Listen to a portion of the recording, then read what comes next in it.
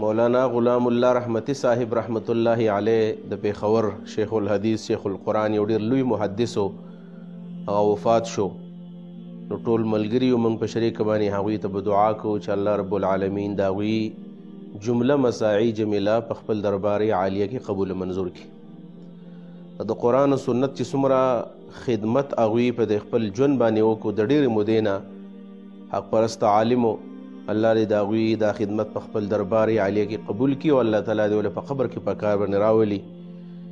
د دې سره سره د جماعت اسلامي پاکستان مرکزی ذمہ دار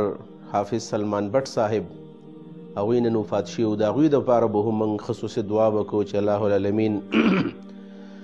د اقامت دین په خاطر باندې د هغوی مساعي جمیله په خپل درباري عالیه کې قبول منظور کړي او الله دې د هغوی د قبر دا ژوند او د آخرت ژوند ښایسته کړي او د هغې سره سره په دې تېرو ورځو کې زمونږ د جامعه عالیه احیاء العلوم بلامبټ دیرلور سابق مدرس نائب شیخ الحدیث حضرت مولانا غلام حبیب صاحب رحمت الله علیه غو پات شو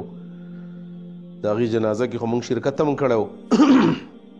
نو نن درس کوي ان شاء الله تعالی دا غوي د پاره هم دعا کو